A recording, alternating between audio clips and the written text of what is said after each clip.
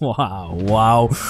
We gotta talk. Yes, the Canadiens lost their game last night. Yes, they blew a two goal lead. Twice. But I don't want to talk about any of that stuff. I want to talk about the positives. Positive number one Arber Xhekaj humiliated Ryan Reaves last night. He humiliated him. And Leafs fans have been trying to find different ways to cope Ah, all day long. Arber didn't win. Arber went for the takedown because he was scared.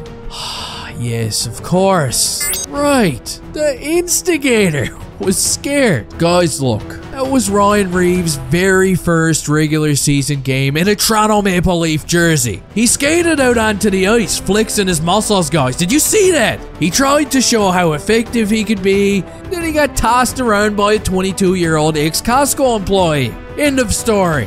Ryan Reaves is 36 years old, guys. He's a goon. And he got absolutely showed up during game number one. I know, I know. It, it sucks if you're a Leafs fan. It's, it's a tough one to swallow, but it's just how it is. I'm not saying Ryan Reaves is not tough, because, guys, Ryan Reaves is a beast, okay? He is. I got a lot of respect for him. And if these two guys do square off at center ice, man, Ryan Reaves is going to be a handful to deal with. But last night, Ryan Reaves got humiliated in his own barn. He got about four bars of Wi Fi, and I'm willing to bet that it didn't go down the way that he wanted it to. And now, while we're all focused on Xhekaj being a beast, he also picked up an assist during the game too last night, okay, along with his 17 penalty minutes. So, what more can you ask out of this guy during game number one? You can't take him out of the lineup. You can't. And again, if you're a big fan of Arber Xhekaj and you want to support this channel, go get yourself a Black Eye from Jack Eye t-shirt right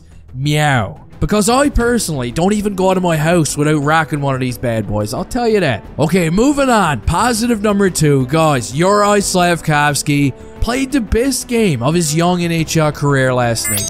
He played over 15 minutes, he picked up an apple, Apparently, he had six shot attempts, three hits, and he was also winning board battles like a madman. I am absolutely in love with line number two of the Montreal Canadiens right now.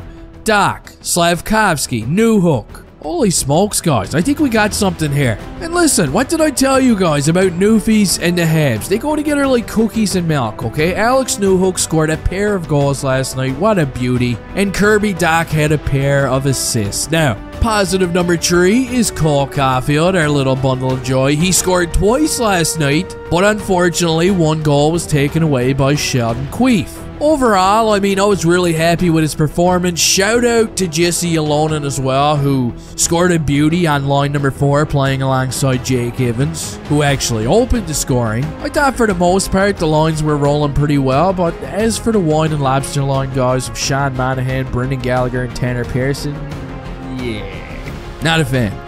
Not a fan, not gonna lie. So let me know down in the comment section how you felt about game number one against the Toronto Maple Leafs. What about Arber Xhekaj and Juraj Slafkovsky? Jeez, round of applause for the boys. Don't forget to break a stick over the like button's back before you leave here. And hey, well, see you next time.